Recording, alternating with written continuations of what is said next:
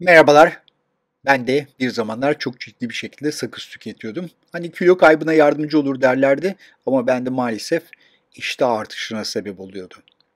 Sakız yutmak pek uygun bir şey değil biliyorsunuz çünkü sakız sindirime tabi olmuyor. Hatta yutmaya kalktığınız zaman yanlışlıkla soluk borusuna kaçarak orada ciddi nefes darlığına sebep olabiliyor.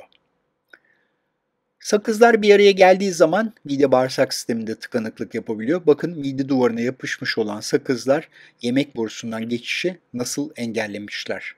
Çok ender değil ama gene de aklınızda bulunsun.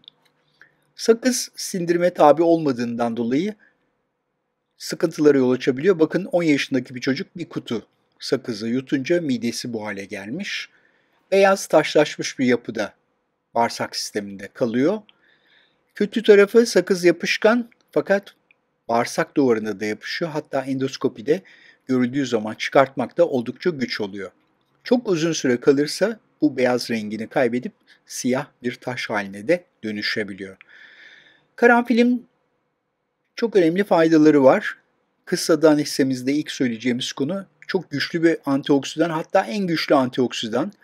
Bir antioksidan sınıflamasına göre kapasitesi 314.446. Bakın alternatifleri nasıl? Böğürtlen 9000 civarında, badem 4500, brokoli 3000 civarında, soğan ise 400. Yani açık ara karanfil en güçlü antioksidan. Tabii ki bunu hapur tüketemeyiz. Bir çay kaşığında günlük manganezin %55'i var. Manganez de hafıza ve kemikler için yararlı. Bakterileri öldürüyor ama ağız ve diş sağlığı için daha önemli. Çünkü ağızdaki bakterileri de öldürüyor. Onun için sadece ağız kokusuna değil, diş sağlığımız için de yararlı olduğunu söyleyebiliriz. Mideyi kaplayan mukusu kalınlaştırıyor. Reflü ve ülsere de o yüzden faydalı. İçinde öjenol diye bir madde var. Bu da yağlı karaciğer ve siroz için yararlı olduğu gösterilmiş. Yağı var, çayı var. Çayını ben pek beğenmedim. Yağını hiç kullanmadım.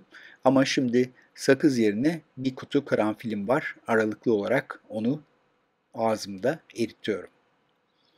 Karanfil sevenler lütfen aşağıya yorumlara notlarını bıraksınlar. Hoşçakalın.